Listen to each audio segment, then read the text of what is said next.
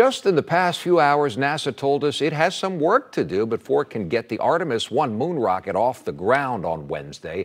NASA says it's trying to fix an electrical connection and a strip of caulk that has come loose after the storm on its $4 billion moon rocket. News 6's Brian Didlake is digging deeper into the problems that could affect Wednesday's launch attempt.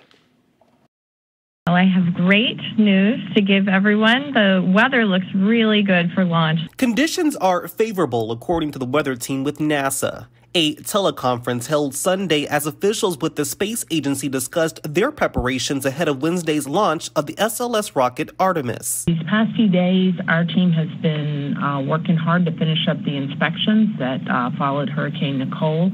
Hurricane Nicole did cause delays, making this week the third time NASA has attempted to launch Artemis into space.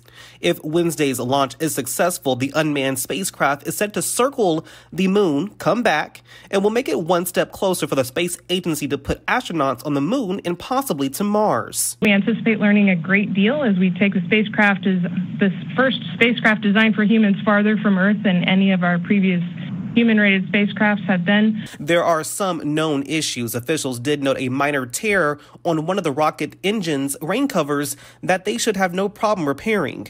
Two items also being looked at is the electrical connection on the hydrogen tail service mast, as well as the RTV, which is like a caulk that fills in gaps. Both items damaged by the storm. We're working through this methodically. Um, we understand what the uh, the risk baseline is for this for this uncrewed test flight. Officials say despite the few known problems, they are confident this time Artemis will launch into space. All the uh, mission management team members polled go, uh, headed into the November 16th launch attempt. In Orlando, Brian Didlake getting results. News 6. Well, teams at the pad are looking at replacing that electrical connector that is malfunctioning, and mission managers say that they're going to get together again to talk about both of the ongoing issues. Now, I'm headed to Kennedy Space Center tomorrow for the next briefing they're going to hold at noon. So I'll let you know as soon as I hear if NASA will go ahead with the launch attempt early Wednesday morning at 1:04 in the morning. But as you heard, that's still their plan. Of course, we will have complete pre-launch coverage on our website, clickorlando.com slash space, and on News 6 tomorrow and Tuesday leading up to the launch. Also, I write a, a weekly space newsletter with in-depth analysis of the Artemis moon rocket and all things space. You can sign up for that on our website.